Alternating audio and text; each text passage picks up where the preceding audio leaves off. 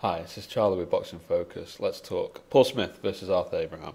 Um, a brave performance by Paul Smith. He really, really gave it everything. You know, I, I, put up a poor quality video uh, predicting that um, Abraham would win a close-ish decision, and that the reason for this is that Paul Smith probably performed about as well as he could have done in the first fight, but Abraham, you know, it appeared that he really underestimated Paul Smith, who, who let's be real, had been selected because he was a good weak mandatory, and uh, and Sauerland are looking to to make the most of Arthur Abraham's name before he retires, because he he's been in a lot of long, hard, tough fights. I mean, I think they were mentioning he's done 12 rounds 16 times now. Um, he, he's got a lot of miles on the clock, and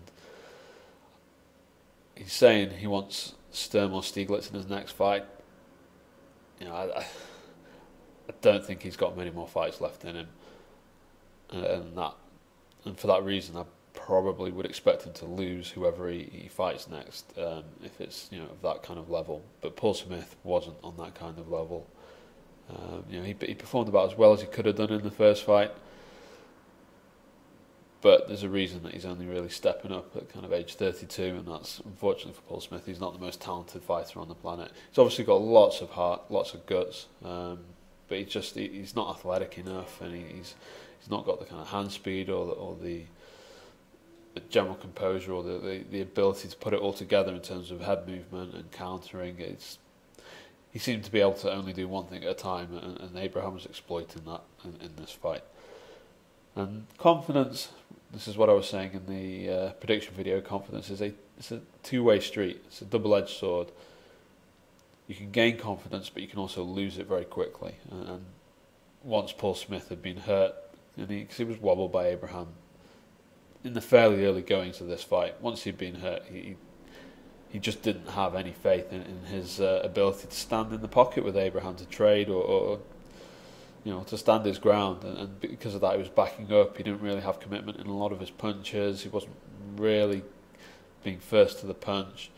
Um, he was allowing Abraham to take long periods off at times with, without really capitalising on it. Um, and uh, yeah, his his work in general was pretty forced. He was was trying really hard. It was a very gutsy performance, and he's done himself proud.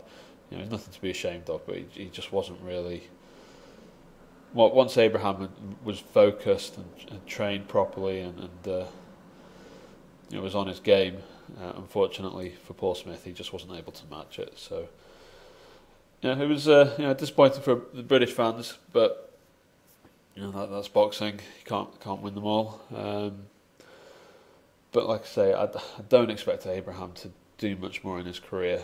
Too many miles on a clock. You know, I I don't think that performance on Saturday night would have been enough to beat Sturm or Stieglitz. I really don't. So uh, that's who he's calling out next. He's, he's saying that, that that will be one of his next fights or the next fight. Um,